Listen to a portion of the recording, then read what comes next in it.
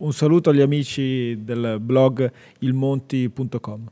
Eh, lunedì 17 dicembre, nella conferenza stampa organizzata a Seveso da Alboni e De Nicola, eh, i due hanno dato vita a un simpatico siparietto, seguendo eh, un cliché da, da, da, politica old style. Eh, far finta di essere vicini alla gente solo a ridosso eh, delle elezioni, tentare la pratica dello scaricabarile sulle responsabilità e magari raccontare qualche favoletta per eh, far credere che dopo aver inviato decine e decine di migliaia di verbali alla gente, eh, questi lavoravano nell'interesse eh, degli automobilisti. Beh, che dire, applausi. Le uniche dichiarazioni di una certa rilevanza uscite da quella conferenza stampa eh, sono la promessa di eh, innalzare a 100 km il limite eh, di velocità eh, alla primavera del 2013 e poi una piccola marcia indietro che per noi era di la verità scontata, eh, dicendo che il tutor entrerà in funzione solo nella tratta milanese della Milano Meda. Infatti eh, noi avevamo già chiarito da diverso tempo e in più occasioni, devo dire anche su questo blog, eh, che non era possibile installare portali di tutor eh, nella provincia di Monza Brianza senza che la stessa fosse in qualche modo eh, interessata. Ma eh, veniamo alla strana storia del track fantasma.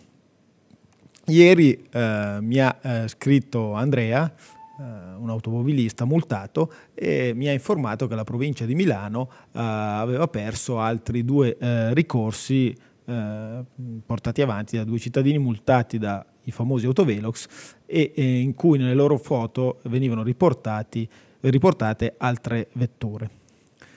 La vicenda però in questo caso è eh, davvero curiosa e devo dire che presenta anche alcuni eh, risvolti poco edificanti.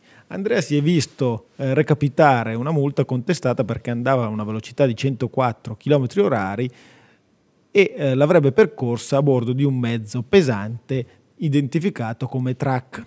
La cosa ha fatto nascere qualche sospetto eh, ad Andrea, non fosse altro che lui era la guida di una Citroen C4 che notoriamente non è certo eh, assimilabile alla categoria dei track.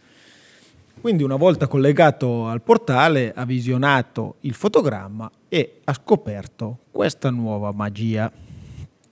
L'immagine infatti riportava uh, due vetture in cui uh, una occupava la corsia di destra, la sua, e una al fianco, però per un gioco di prospettive un po' particolari, uh, l'autovelox ha considerato le due vetture come un unico veicolo e quindi essendo un veicolo lungo ha eh, assegnato loro la categoria di track. Ben inteso, eh, errare è umano, anzi per noi possono anche errare eh, i mezzi e le apparecchiature elettroniche. Devo dire che qui il problema è come poi ci si comporta una volta verificato l'errore.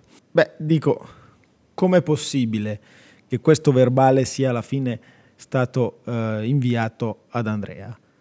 Chi ha bisognato questa foto, come ha fatto a non accorgersi che eh, la vettura sanzionata non era un camion, bensì una C4? E se Andrea avesse pagato subito senza dare una sbirciatina all'immagine collegandosi al portale, se non avesse dato retta anche eh, al mio consiglio che ho lanciato durante il servizio di striscia, tra l'altro uno dei motivi pare per cui io sia stato querelato. Cosa sarebbe successo? Beh, sicuramente avrebbe pagato pur non avendo commesso l'infrazione e qualcuno chiaramente avrebbe intascato dei soldi senza averne nessun diritto in questo caso. Ma c'è dell'altro. Una volta accorso, accortosi del eh, palese errore a inizio settembre, Andrea si è eh, collegato al, al portale eh, della provincia di Milano, ha scaricato il modulo di istanza di archiviazione del verbale di accertamento al codice della strada e ha provveduto ad inviarlo alla provincia di Milano, corredato anche da due righe molto educate, in cui faceva presente il grossolano errore e chiedeva l'archiviazione del verbale. Risultato? Nulla da fare. Non viene archiviato un bel niente. A questo punto Andrea è costretto a rivolgersi al giudice di pace, a sborsare i 36 euro, a perdere chiaramente un sacco di tempo sottratto alla sua attività eh, lavorativa e il tutto per cosa? È semplicemente per spiegare davanti ad un giudice che la sua Citroen C4 non è un camion. Beh, direi che questo è assolutamente scandaloso. Durante l'udienza però il colpo di scena.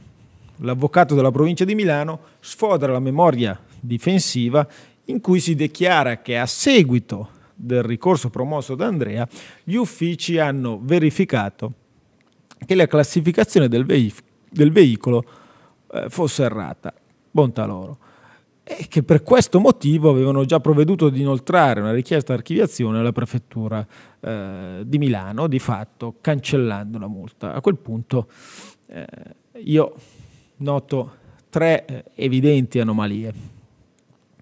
Per prima cosa non si capisce il motivo, anzi forse si capisce benissimo, per cui non è stata subito accettata l'istanza di archiviazione, ma si è agito solo a seguito di un ricorso, una strada che sappiamo molti utenti preferiscono non percorrere perché la considerano ostica e soprattutto non vogliono magari perdere tempo. Insomma, a casa mia si suol dire se la va la gai gap, che tradotto in italiano significa che noi ci proviamo, poi se va va. In secondo luogo, se davvero come eh, si è dichiarato nella memoria difensiva, l'errore consisteva solo nella classificazione del veicolo, mi domando perché non si sia provveduto a sanzionare comunque l'eccesso di velocità con la classificazione corretta, ovvero quella di un autoveicolo. Terzo ed ultimo, nella memoria la provincia sostiene che l'errore materiale è stato commesso dal validatore, senza però far cenno al fatto che la categoria track è stata assegnata in automatico dal, dall'autovelox, infatti compare nel fotogramma. Eh, quindi in questo caso mh, non riesce quindi a discriminare tra le varie vetture coinvolte sulla, sulla strada. Una risposta indiretta a questi quesiti forse eh, la troviamo sempre nelle parole che ci scrive Andrea, dandoci notizia di un'altra vittoria, ovvero di un altro esito positivo, di un ricorso che ha portato avanti un suo familiare, sanzionato anch'egli per la presenza di eh, due veicoli nella stessa foto e in cui il giudice di pace ha dato ragione annullando la multa. Quindi è abbastanza comprensibile che la memoria abbia evitato eh, di entrare nel merito del corretto funzionamento dell'apparecchiatura, eh, ma mh, mm, si sia limitata a battere il, l'esta ritirata eh, chiedendo l'annullamento eh, della multa.